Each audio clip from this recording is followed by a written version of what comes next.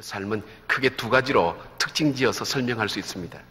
그는 자기의 암담했던 미래를 그는 열어갔던 사람입니다. 그는 어머님이 일찍 돌아가시고 수, 수많은 배다른 형제들 사이에서 시기와 질투 속에서 그리고 노예로 팔려버리고 죄소로 가는 인생의 무거운 기억들과 아픔들이 그 삶 속에 있음에도 불구하고 그것이 한 번도 그를 묶어둘 수가 없었습니다. 그는 그 어려움 가운데서도 미래를 열어갔던 사람입니다. 그 인생의 경험과 아픔들이 그를 붙잡을 수가 없었던 그 사람. 그에게 주어진 희망을 향해서 쫓아갔던 그 사람. 그리고 자신의 삶만 열어갔던 것이 아니라 다른 사람의 미래를 열어주었던 바로 그런 사람 말입니다. 오늘 우리가 살아가면서 그런 인생 되기를 원하는 마음이 우리들 속에 얼마나 많습니까? 나에게는 역경이, 역경이 더 이상 나를 붙들, 붙들고 나를 막는 것이 아니라 그 역경을 헤치며 걸어가는 그 인생의 승리의 아름다운 모습들, 통쾌한 그 감격들, 그리고 나뿐 아니라 나와 더불어 살아가는 내 자녀들에게 내 더불어 살아가는 이 이웃들에게 그들의 미래마저도 열어놓을 수 있는 오늘 내 삶이 된다면 그 인생은 분명 복된 인생이 될 것입니다.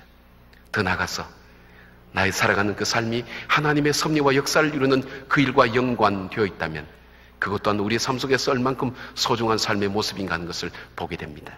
그렇다면 요셉이 그런 인생 살았던 이유가 뭘까요?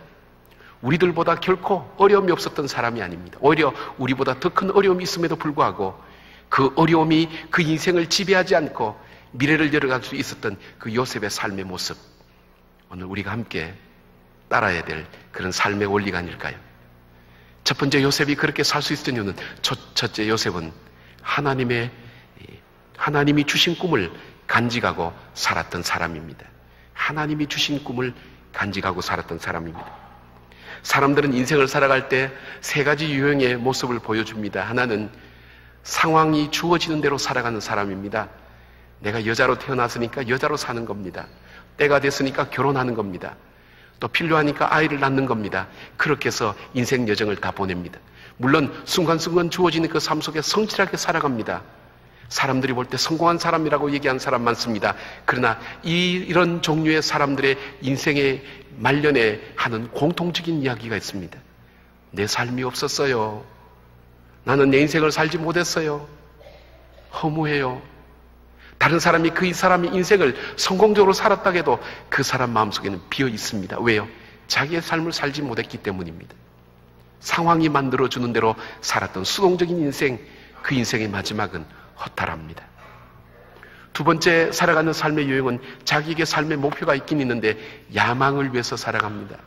자기 인생이 행복해야 되겠고, 자기 이름이 드러나야 되겠고, 자기가 편안해야 되겠고 자기가 유명해져야 되겠다는 그런 것 때문에 인생의 목표를 가지고 살아갑니다. 이분들은 어려움도 헤쳐나갑니다. 또 힘든 일도 잘 극복합니다. 그러나 문제는 자기의 목표가 달성되었을 때 그때 그 다음의 삶이 이들에게는 없는 것을 봅니다. 돈을 많이 벌었던 사람, 그 돈에 돈을 모으는 그 목표가 달성된 다음 그는 그 돈 때문에 오히려 불행한 삶을 마감하는 사람들이 얼마나 많은가요? 자기가 이루어진 꿈 때문에 더 불행한 인생으로 살아가는 사람, 자기의 야망을 이루려 하다가 그 이루어진 그 야망 다음의 삶을 찾지 못해서 방황하는 인생들이 얼마나 많이 있습니까? 그러나 오늘 요셉의 삶은 하나님이 내게 주신 그 꿈, 그 꿈을 그는 한 번도 잊지 않고 살아갔던 사람입니다. 요셉의 꾼 꿈이 뭘까요? 밭에서 일하는데 요셉의 단이 일어서는데 자기 형제들의 단 열한 단이 자기에게 절한다는 겁니다. 이것만 꾼 게 아닙니다. 또 하나 꿈을 꿔서 해와 달과 열한 별이 자기에게 절하더라 하는 그 꿈을 꾼 겁니다. 이 꿈 때문에 요셉은 시련이 시작된 것입니다. 근데 요셉은 이 꿈을 간직했습니다. 이 꿈을 믿었습니다. 이 꿈이 이루어질 것을 기대했습니다. 보통 꿈을 꾸고 나면 잊어버립니다. 그러나 요셉이 자기 꿈을 잊지 않고 간직했다는 그 이유가 어디 있을까요? 여러분 창세기 41장에 보면 바로가 꿈을 꾸었는데 두 가지 꿈을 동시에 꾸었어요. 하나는 살찌는 소가 있는데 파리한 소가 와서 살찌는 소를 잡아먹습니다. 곡식이 이 알이 충실한 이 이삭이 있는데 파리한 그 이삭이 나타나서 이, 이 알이 충실한 이삭을 이 먹어버립니다.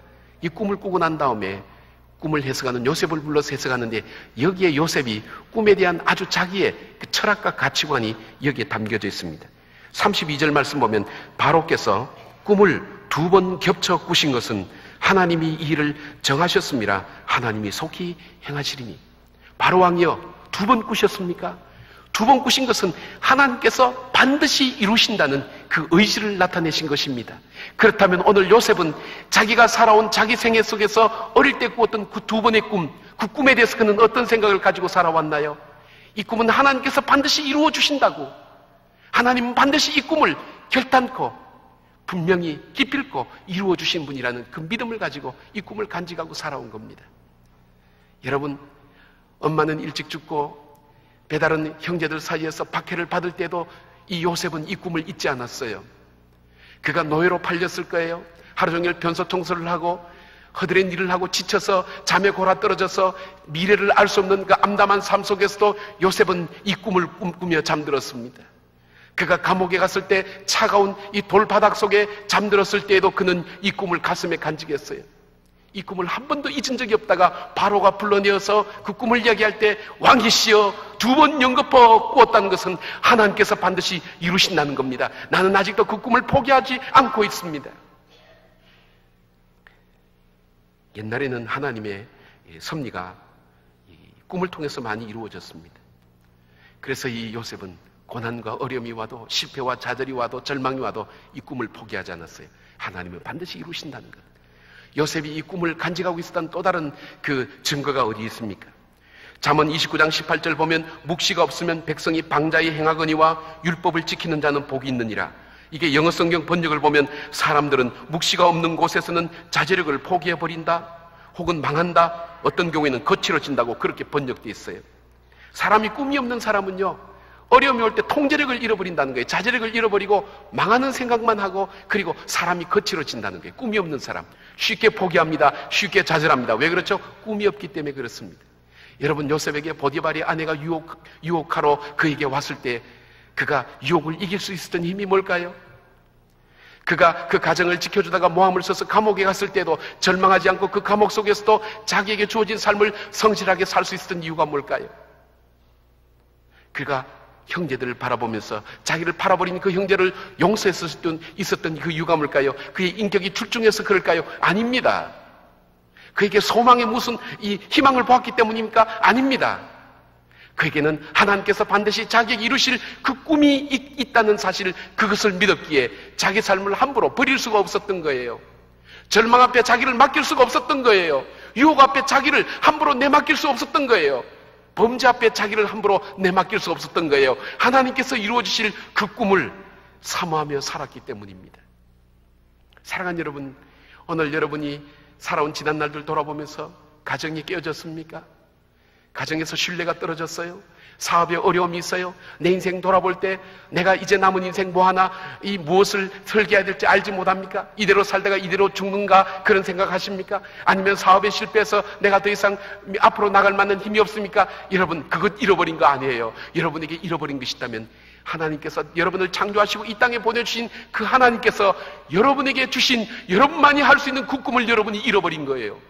그 꿈을 잃어버리니까 낙심이 쉽게 되는 거예요. 그 꿈을 잃어버리니까 절망 가운데 나를 맡기게 되는 거예요. 그 꿈을 잃어버리니까 어떻게 되는 거예요? 유혹 앞에 자기를 쉽게 내어주게 되어 있는 거예요. 꿈이 없는 사람은 무너지게 되어 있어요. 사랑하는 여러분, 오늘 우리의 삶이 이토록 각박하고 어렵고 힘들지만 자기의 삶을 잘 가꾸고 끝까지 자기를 지킬 수 있는 사람은 꿈을 간직한 사람입니다. 오늘 우리 교회가 다시 찾아야 할 것이 있다면 그는 꿈입니다.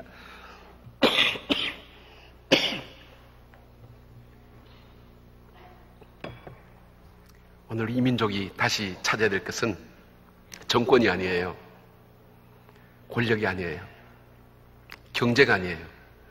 하나님이 내게 주신 하나님이 주신 그 꿈을 우리는 잃어버렸기 때문에 교회는 타락하고 믿는 사람들 속에는 삶의 정결함이 없어져 가고 주께서 이, 이루실 그 꿈에 대해서 우리는 어느새 기대를 버리고 살아가고 있다는 사실입니다. 꿈을 버린 사람에게는 미래가 열려지지 않습니다. 요셉은 차운 마루, 마룻바닥 속에서도 이 꿈을 간직하고 이 꿈을 노래하고 이 꿈이 이루어질 날을 위해서 그의 삶을 살았습니다. 그에게 미래는 열려지게 된 것입니다. 여러분 꿈을 다시 찾으십시오. 주께서 내게 주신 그 꿈, 내가 어릴 때 받았던 그 꿈, 젊은 날에 받았던 그 꿈, 그 꿈을 다시 붙들고 살아갈 때 우리의 노년은 더 이상 노년이 아닙니다. 새로운 출발의 날이 될 것입니다. 두 번째로 요셉이 자기의 미래를 열고 다른 사람의 미래를 열 수 있었던 것은 그는 삶의 현실 속에 충성을 다해서 살았습니다. 사람에게 있어서 진정한 충성은 처세술에서 오지 않습니다. 충성은 바로 믿음에서 나옵니다.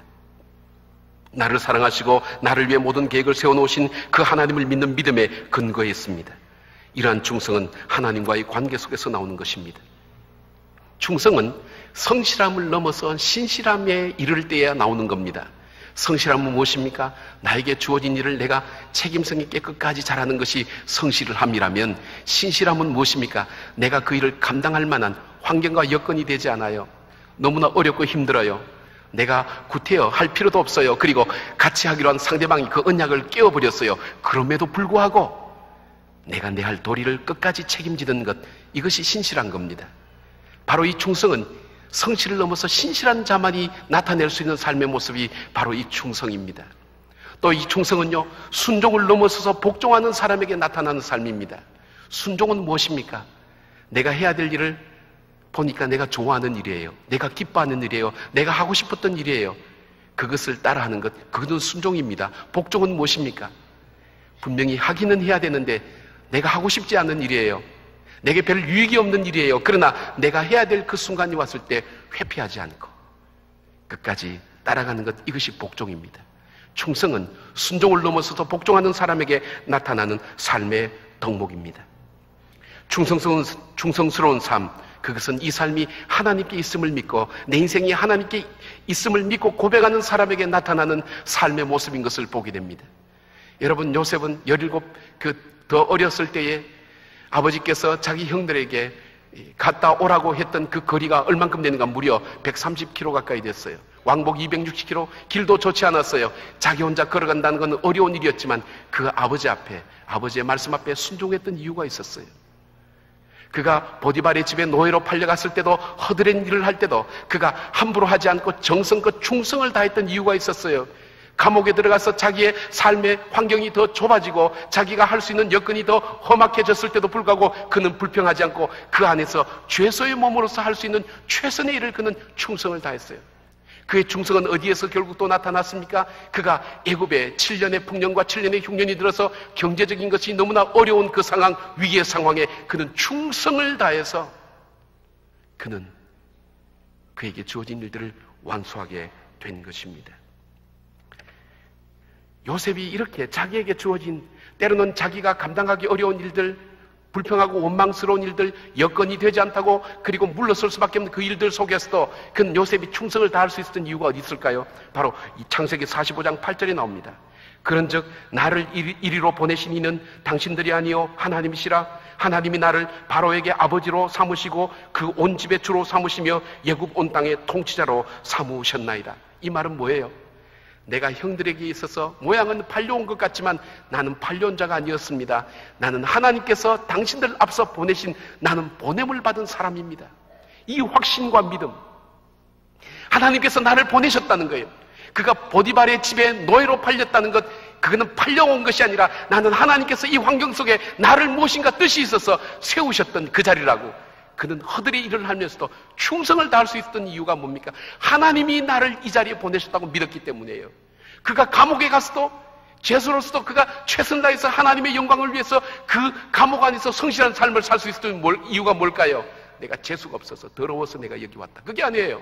하나님이 이 환경 속에 나를 보내셨다는 거예요. 보냄을 받은 자. 여러분, 그냥 우연히 던져진 존재하고요. 보냄을 받은 자는 삶이 달라요. 여러분 그렇다면 오늘 여러분의 삶은 이 땅에 보내진 장가요? 아니면 여러분 이 땅에 던져진 자로 살아가고 있는가요? 오늘 여러분의 살아가는 삶의 모습을 볼 때 나는 하나님께서 이 땅에 나를 보냈다. 이 시대와 이 환경 속에 바로 이 역사 속에 하나님이 나를 보냈다고 생각합니까? 아니면 나는 우연히 이 땅에 던져졌다고 생각합니까? 그렇게 생각하는 사람 삶이 분명히 달라요. 여러분, 우리가 하나님 앞에 내 삶의 현실 속에서 충성할 수 있다는 것 얼만큼 귀한 일인지 모릅니다.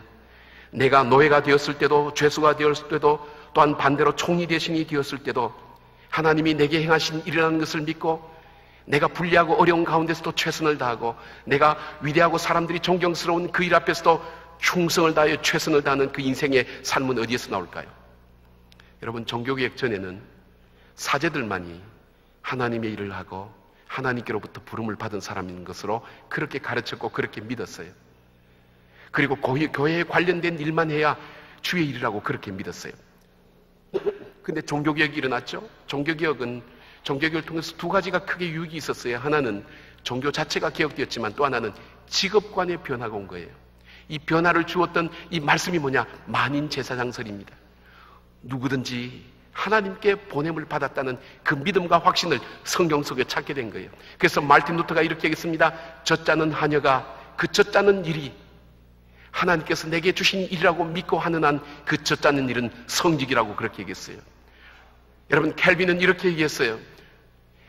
죄와 직접 관련이 없는 한 그 일이 하나님이 주신 일이냐 아니냐의 그 차이는 어디서 나느냐 그 일에 임하는 사람들의 자세와 태도에 좌우된다고 그렇게 얘기했어요. 그렇다면 여러분 오늘 여러분에게 주어진 그 가정, 여러분에게 주어진 직장은 여러분 던져진 존재입니까? 아니면 하나님께서 내게 주신 내게 보냄을 받은 그 자리입니까? 내 엄마와 아빠로서 자녀로서 부모로서 내 인생 삶 주님의 뜻이 나타나도록 내 인생은 어떻게 살아야 될까요? 내 직장 생활은 어떻게 할까요? 그 일 자체가 성직이라는 것을 여러분 모르십니까? 교회를 해도요, 내 욕심과 내 야망과 내 만족을 위해서 하면 그 세속적인 일이에요, 여러분. 제가 지금 강단에서 설교한다 할지라도 이것이 거룩한 일을 할지라도 여기서 제 세속적인 생각이 들어간다면 제 개인적인 야육을 위해서 한다면 이건 세속적인 일이에요. 그러나 여러분이 집에서 밥을 한다 할지라도 그 일이 하나님이 내게 보내주신 파송하신 가정이라는 그 믿음을 가지고 일할 때 충성을 다할 수가 있는 겁니다. 요한계시록 2장 10절 서머나 교회에 주님께서 보내신 편지에서 때로는 환란과 시련이 우리의 삶을 위협하며 두려움으로 가득 차게 만든다 할지라도 인내하며 죽도록 충성할 때 생명의 면류관을 주리라고 말씀하셨어요.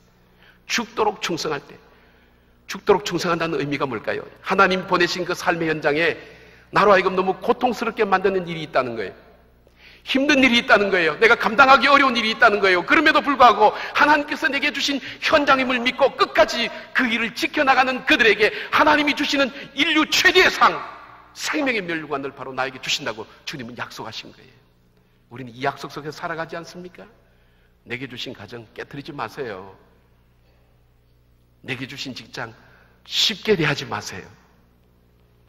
내게 주신 이 민족 쉽게 포기하지 마세요. 나를 통해서 이루시는 주님의 뜻을 바라보는 사람. 그 현장에 그 삶 속에 충성을 다할 때 주님은 그를 통해 그 미래를 열어가십니다. 그 공동체의 미래를 열어가시는 것입니다.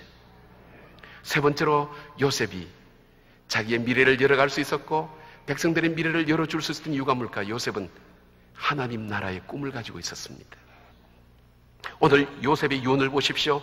창세기 50장 24절부터 26절까지 보면 요셉이 그의 형제들에게 이르되 나는 죽을 것이나 하나님이 당신들을 돌보시고 당신들을 이 땅에서 인도하여 내사 아브라함과 이삭과 야곱에게 맹세하신 땅에 이르게 하시리라 하고 요셉이 또 이스라엘 자손에게 맹세시켜 이르시기를 하나님이 반드시 이거는 영어로 슈얼이에요. 반드시 당신들을 돌보시니 당신들은 여기서 내 해골을 메고 올라가겠다 하라 하였더니 요셉이 110세의 죽음에 그들이 그의 몸에 향조례를 놓고 예국에서 입간하였더라. 미라를 만들었다는 거예요. 여러분 이 요셉의 유언이 뭘까요? 우리 민족은 이 여기서 머물 민족이 아니야. 하나님이 통치하시는 하나님이 예비하신 반드시 하나님의 약속하신 땅이 있다고. 하나님이 반드시 그 일을 이루실 건데 그때에 하나님 인도하실 때 내 해고를 갖고 가라고. 요셉의 시신은 관 뚜껑을 닫았지만 그의 비전은 관 뚜껑에 담겨지지 않았습니다. 요셉이 죽을 당시에 그 사람들은 그 말이 무엇을 의미한지 몰랐어요. 지금 예굽의 사람들은 요셉이 행한 일이 예굽 사람에게 너무나 귀한 일이기 때문에 감사함으로 이스라엘 백성들을 얼마나 잘 섬겼는지 몰라요. 그러니까 이스라엘 백성들은 야 여기가 너무나 좋구나. 여기가 살기가 좋구나. 여기서 영원히 살, 살자. 여기면 된다고 생각했지. 요셉이 하는 말이 무슨 말인지 몰랐어요.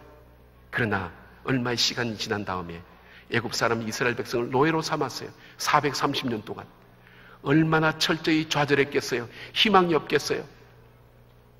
그들이 이제는 우리는 희망이 없구나. 우리는 이 땅에서 도무지 살지 못하겠구나. 그런데 나갈 능력과 나갈 희망이 보이지 않는 거예요. 그때 요셉의 해골이 말하는 거예요. 여러분, 내가 얘기했잖아요. 하나님은 반드시, 반드시 당신들을 여기서 인도해 나갈 겁니다. 희망을 버리지 마십시오. 하나님이 예비하신 그 땅이 있을 것입니다. 반드시 하나님은 여러분들을 하나님의 땅으로 인도할 때 그때 내 호를 해고를 보십시오. 당신들이 나에게 맹세하지 않았습니까? 내 해고를 갖고 가겠다고 말입니다. 하나님은 이 일을 반드시 이룰 겁니다. 여러분, 이 말이, 이 메시지가 절망 속에 있는 이 백성들로 하여금 기도하게 만들었어요. 여러분, 하나님께서 모세를 보낸 이유가 뭡니까? 이스라엘 백성들이 예굽 땅에서 울부짖는 소리를 들었다 그랬어요. 여러분, 희망 없으면 울부짖지도 않아요. 그들의 신음소리와 울부짖음 그것은 바로 요셉의 해골이 이야기하는 그 비전과 꿈 하나님은 하나님 역사를 반드시 이루며 하나님의 백성을 하나님이 약속한 땅으로 반드시 이루어 가실 것이라는 그 비전과 꿈을 가지고 있었기에 그는 그들은 괴롭지만 하나님께 울부짖은 거예요. 그 음성을 듣고 주께서 구원하신 겁니다. 여러분, 절망 가운데 있던 이스라엘 백성들이 죽어서도 말하는 바로 요셉의 그 비전을 그가 믿고 바라볼 때에 그들은 절망 가운데서 오랜 동안의 절망 가운데서 좌절하지 않고 신음소리도 낼 수 있게 된 것입니다. 요셉의 꿈은 이 땅이 아무리 화려하고 아름답고 편안하다 할지라도 최후 땅이 아니라는 걸 그들에게 알려주었어요. 그 삶을 통해서, 죽음을 통해서. 그렇습니다. 오늘 우리가 사는 이 땅이 영원히 살 곳이 아님을 우리는 삶을 통해서 보여주어야 합니다. 이 땅에 살 때 이 땅의 것에 매여서는 되지 않습니다. 물질을 통해서도 내 삶의 행동을 통해서도 시간 사용을 통해서도 인간관계를 통해서도 내가 알고 있고 내가 처해 있고 내가 누리고 있는 이것이 전부가 아니라 반드시 우리는 하나님이 예비하시는 완전한 하나님의 나라 영원한 나라가 우리 삶에 있다는 것을 오늘 우리의 삶을 통해서 보여줄 수 있을 때 우리는 저들의 미래를 열어갈 수 있다는 사실입니다. 오늘 사랑하는 여러분 우리가 가야 될 하나님 나라가 있다는 증인의 삶을 살아야 한다는 것입니다.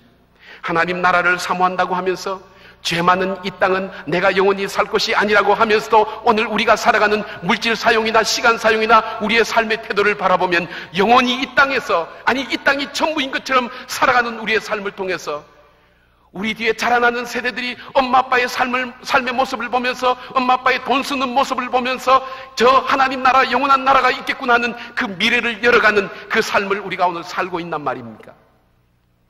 조그만 문제 앞에 좌절하고 절망하며 일어설 줄 모르는 그 부모를 보면서 우리의 자녀들이 아니야 우리 엄마 아빠가 얘기한 저 영원한 나라는 없어 엄마 아빠가 저렇게 좌절하고 절망하는 것 보면 영원한 나라가 없는 것이 분명해 어려 그 미래를 막아놓는 그런 삶을 여러분 살고 있지는 않는가요? 조그만 자존심 앞에, 조그만 절망 앞에, 조그만 좌절 앞에 영원히 이 땅이 나의 마지막 땅인 것처럼 주님이 죽으신 것처럼 우리에겐 미래가 없는 것처럼 좌절하고 절망하는 그 모습을 우리의 자녀들이 본다면 그 자녀들이 나를 통해서 영원한 하나님 나라의 소망을 가지고 살겠단 말이에요. 이 땅에서 돈 때문에 죽고 죽이는 그 삶을 보면서 자녀들을 통해서 자녀들이 나의 삶을 통해서 하나님 나라가 이 땅을 보겠냐 이거예요. 오늘날 교회가 타락한 이유가 뭘까요? 이 소망 잃어버린 거예요. 이 땅에서 땅 사고 집 짓고 이 땅에서 숫자 많이 늘리고 부하게 되고 이 땅에서 영원히 살 것처럼 살아가는 그 삶의 모습들. 여기서부터 그리스도인들이 타락하고 교회가 타락하기 시작한 것을 보게 됩니다. 사랑하는 여러분, 오늘 우리가 하나님 나라를 그 영원한 하나님 나라를 바라보고 살아가는 그 꿈을 가지고 있습니까? 아니면 이 땅에서 영원히 살아갈 것처럼 그렇게 살아갑니까? 오늘 우리가 이 땅에 전념해서 집착해 살아가는 그 삶, 내 자녀의 영혼을 향한 그 소망의 문들을 우리는 막고 있다는 사실을 아십니까? 교회가 이 땅에 그 집착할 때 교회를 통한 하나님의 영원한 나라에 그 펼쳐지는 영광스러운 그 놀라운 주님의 일들을 우리도 모르게 막고 있다는 것 아십니까? 사랑하는 여러분, 오늘 우리는 미래를 열어가는 하나님의 소망을 품고 살아갈 수 있는 사람이 될 수도 있습니다. 그러나 그렇지 않으면 나의 미래뿐 아니라 다른 사람의 미래를 막는 그런 일로도 우리는 살아갈 수 있습니다. 오늘 요셉처럼 여러분의 미래가 어떤 암담한 참담한 상황 속에서도 열려질 것을 저는 믿습니다. 그리고 다른 사람의 미래를 열어가는 복된 인생으로 살아갈 것을 믿습니다. 주님의 꿈을 다시 찾으십시오. 가장 좋은 미래를 열어가는 우리의 삶의 모습이 뭘까요? 그것은 우리의 기도일 것입니다. 절망하지 않고 좌절하지 않고 살아계신 하나님께 기도하는 그 모습, 그 모습을 보는 그 자녀들은 자신의 미래를 열어갈 새로운 지혜를 나를 통해서 얻게 될 것입니다. 기도의 자리, 그리고 천국을 사모하며 오늘 내 삶을 하나님 나라에 초점 맞추는 그 삶의 모습, 그것은 오늘 우리 자녀에게 줄 수 있는 우리가 이 땅에서 줄 수 있는 최대의 선물인 것을 기억하시길 바랍니다. 기도하겠습니다. 생명의